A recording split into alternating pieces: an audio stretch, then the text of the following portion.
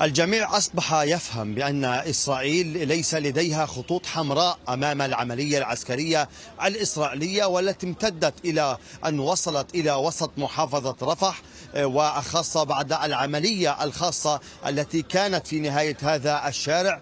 واستمعنا إلى أصوات الانفجارات والغارات العنيفة والتي يعني أحدثتها الطائرات الإسرائيلية بفعل العملية العسكرية على أحد المنازل الذي كان بداخلها الإسرائيليين لكن ومع كل هذا التطور الإسرائيلي إلا أن الطائرات الحربية المسيرة لا تغادر الأجواء فهي تواصل عملية البحث والتحري والتصوير وأيضا التجسس وهذا ما أدى إلى تخوفات كبيرة لدى المواطنين وأيضا النازحين من تكرار سيناريو هذه الليلة على رفح وخاصة في ظل العملية الاستخباراتية المتواصلة من الجو من الجو. قبل قليل أغارت طائرات إسرائيلية على مجموعة من المواطنين تحديدا في حي البرازيل إلى الشرق من محافظة رفح مما أدى إلى وقوع ضحايا وإصابات في صفوف المواطنين. لكن على الأرض تشتد الاشتباكات بين الفصائل الفلسطينية والجيش الإسرائيلي تحديدا في محور التقدم مدينة خان يونس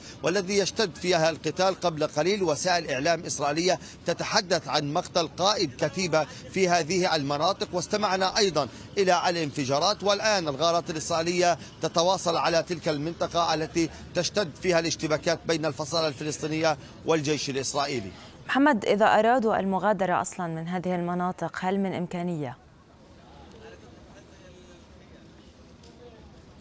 نعم بالفعل رصدنا عملية نزوح جديدة وعكسية. من هنا من رفح العائلات التي نزحت من وسط قطاع غزة قبل أسابيع. بعدما توغل الجيش الإسرائيلي في في مخيمي البريج والمغازي نزحت الكثير من العائلات إلى رفح لكن اليوم مع التهديد المتواصل على رفح هذه العائلات تعود نزوح عكسي إلى وسط قطاع غزة. ونشاهد المركبات المحملة بالأمتعة وبعض الفراش والمستلزمات الخاصة والتي تنطلق تنطلق من هنا من محافظة رفح. هذا أيضا بفعل العملية التي حدثت هذه الليلة وبسبب المخاوف المتواصلة والمتكررة من قيام الجيش الإسرائيلي بتكرار سيناريو هذه الليلة خاصة وأنه استهدف 11 منزلا سكنيا مأهول بالسكان مما أدى إلى وقوع عدد كبير من الضحايا. كان من بين هذه العائلات عائلة حسونة التي جاورتنا طيلة عملية النزوح منذ العاشر من أكتوبر. حتى وصلنا إلى مدينة خان يونس سويا وعدنا هنا